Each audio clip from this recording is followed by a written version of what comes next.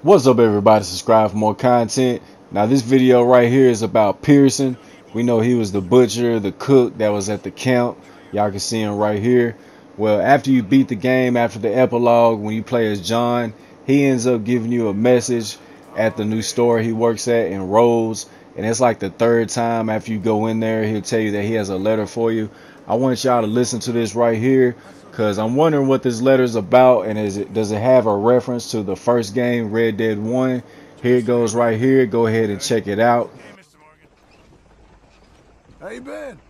Oh, ticking along. Where is it your base now again? I was, uh, thinking I might send you a letter. Some things I wouldn't want Ethel to, uh, overhear. Ah, it's a place called Beecher's Hope in Great Plains. West Elizabeth. Okay, good, good. So, what can I help you with today? Yes, dear.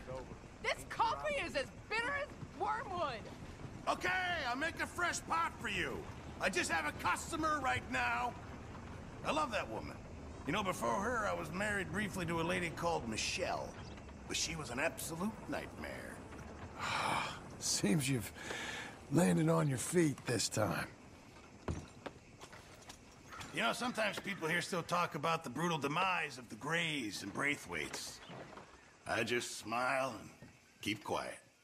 So that's the conversation you have with Pearson after you beat the game. He runs the store in Rhodes and he details that he's gonna send you a letter and John ends up giving his address to him or tells him where he's at. He didn't really give an address, but he tells you that he's gonna send a letter, something he wants to talk to you about that he doesn't want his wife to hear.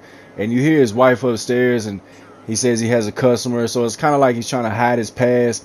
He ended up talking about the Graves and the Braithwaites, and he just smiles about it. So he's on the on the good track, doing good right now. And uh, I wonder what this letter is. So I couldn't find anything about Red Dead One. I did beat it, but that was like nine years ago, and I can't remember nothing from it. So if anybody's seeing this, you know, drop a comment, let me know. Does the letter have any significance to the first game, Red Dead 1?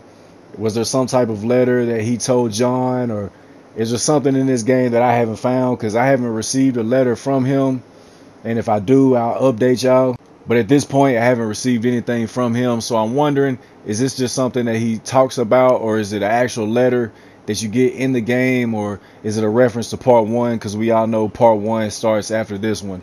So drop a comment let me know if you know anything about it i'm pretty sure somebody does we're strong out here when we come together put our minds together. And i just wanted to share this with everybody. And i'm gonna keep investigating. If i get a letter i'll let y'all know. But until then i will catch y'all later